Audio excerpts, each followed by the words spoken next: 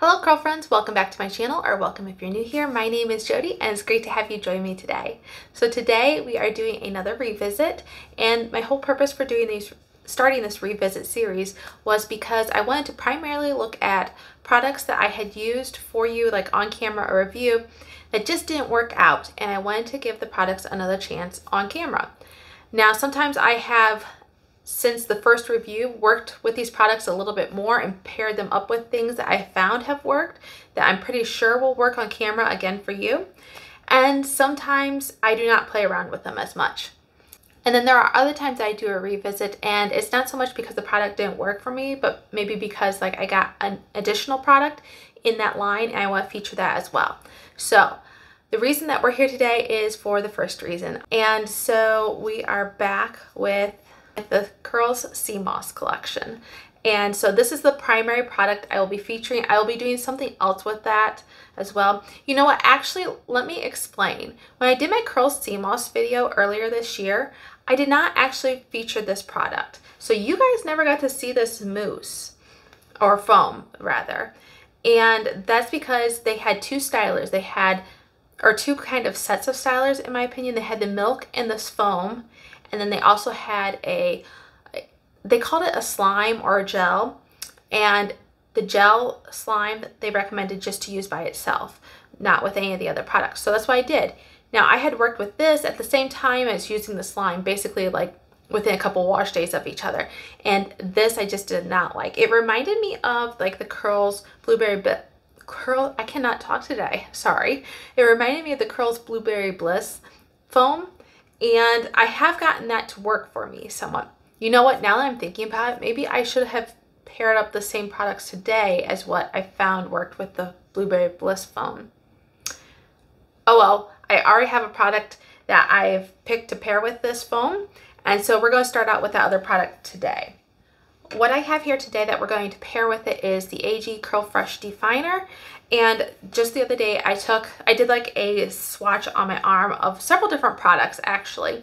This was one of them and I paired it with a foam to see if it mixed well. It did. The other two that I paired to see like the mix test um, were the, it was the Ouidad Climate Control Featherlight Styling Cream, something like that, and also the leave-in detangler. And they all seem to mix pretty well together, but I just decided to go with this. It's been a while since I've used this, so one thing I will say, when I did go to use this, I forgot how liquidy this can be. And I feel like maybe it's gotten more liquidy with time, but it just poured out all over. So I'm going to be very careful putting this into my hands. And I can't hardly show you here what we're working with, but maybe you can see that. It's just running down. And my hair is already pretty well detangled. I might add some more water to it for the brush styling. But that's one side. Let's get some more for the other side.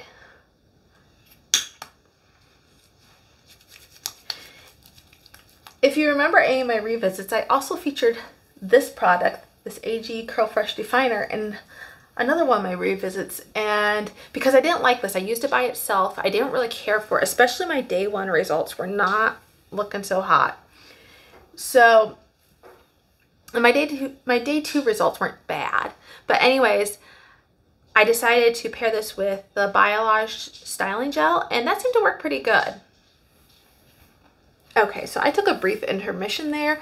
My husband was just in the next room making a little bit of noise, so he was just finishing up breakfast and everything. So I basically just wet my hair down and pinned it up. And I have like Sometimes I get this when I pin up my hair like this and then I snag a hair that has gotten partially caught up. And yeah, it's just one of those things. Do any of you deal with that as well? Okay, so there, there it goes again. I should, like, why? Why? One eternity later. Okay, so that one little, like, hair that was snagging and getting caught because it was partially up in this caused a whole lot of chaos that you didn't see on camera. I had to take this all out and start all over again basically. But I have been enjoying doing this brush styling kind of like this method that Amanda Guido does where I pin part of this up and focus on the bottom section first, brush styling that, and then moving on to the top section, doing more of like a herringbone technique up there. I found that it helps keep the part so it's not so much of a part that I don't have so much of a center part issue. And I've also found that it just, it gives me maybe a little bit more volume on top. I've heard a couple people say that before for me. And it's easier than brush styling upside down. Although I do like my results of when I brush style upside down, not on camera, but it's just such a hassle to try to do it on camera. So I'm going to fast forward through this, actually probably just skip ahead, and I'll come back when we're getting ready to apply the foam. Okay, just taking these clips out here after I've brush styled the top section. I still have to scrunch that in yet, the top. But I like to kind of flip side to side and do that a little bit. Now, as I've mentioned, this moss foam, which you I guess you never saw on camera, did not work out for me. It was very heavy. It was very, it just left my hair feeling producty and heavy, basically. I've tried it since my first experiment with it and that first time I used it that I said it was producty and heavy I used the hair milk with it that came from the same line and I think the curls hair milks do not agree with me. At least that's kind of the conclusions I'm drawing. So I tried pairing this as well with my Aussie hair insurance leave-in conditioner one that I love. It was lightweight. I felt like maybe this would give it a better chance. But I think I went in with a little bit more foam than I needed because thinking I was using such a lightweight product and it still felt gunky and producty on my hair. So I'm hoping this AG definer will give me like the definition or at least start to give me the definition for my curls. And then when I go in with the foam, I can go in with a very light amount that will hopefully provide me a little bit more hold than what just the cream would do. So let's flip upside down and we'll get into this.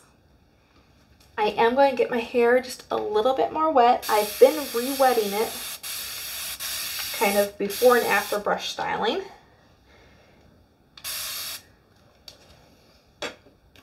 And then I think I'm only going to do two pumps of the foam. It doesn't look like much. Let me emulsify it in my hands and see how that, but it gives me very much like a filmy feeling on my hand. So yeah, I don't want to go in with more than that at this point. Let's just glaze that all over and scrunch. My instinct is to go in with more, but my gut is telling me hold off. So, I don't know, instinct might win out here, folks like I said, that did kind of leave, it didn't look like much in my palms, but that did kind of leave a film on my hands, which was pretty easy to spread into my hair.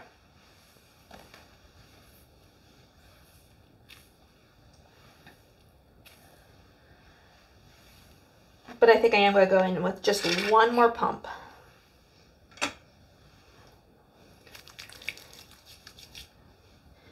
And this one I'm just going to focus more on scrunching, not so much the glazing. I started to try to glaze it, but I just want to scrunch this one, I think.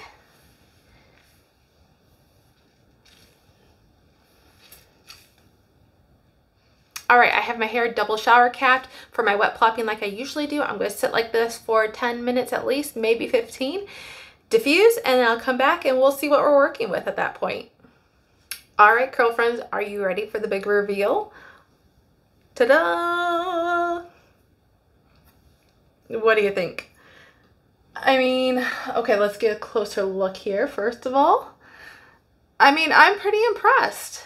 I've got curl definition underneath here. Like, look at this. Look at this curl. She's curling good. I like it. And I've got curl definition on top. It's a little looser spirals, but still very beautiful. And there's the side. I'm liking it. Get you a little look at the back here.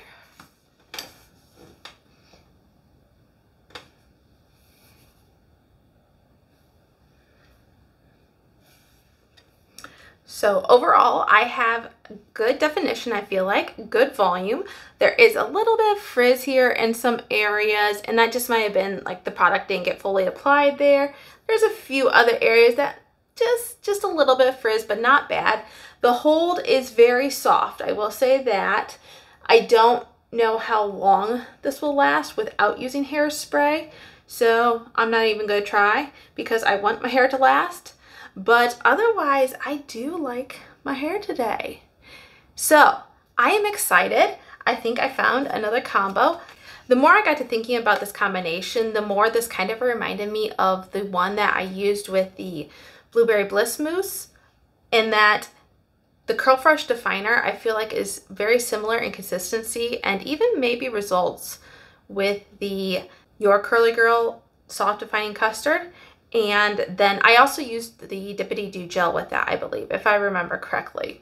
So I didn't use the gel today, but I do feel like these maybe have similar properties with the other experiment that I did with the Curls Blueberry Bliss Mousse. So overall, I am liking this. I'm very pleasantly surprised. I do have some bigger curl clumps here that I will be breaking up, I feel like. And Look at that. I'm frizzing it too when I'm doing that. But I guess I guess that just adds to the volume, right? Uh-huh. That's what I'm telling myself. So I should stop playing with it. Let me know what you think of this in the comments down below. I really appreciate hearing from you. If you enjoy this kind of content, please let me know. Give me a thumbs up. It really helps me out. Liking this channel, subscribing if you haven't already, and might as well share this with a friend that you think might enjoy it as well. So until I see you again next week, have a great day. Bye.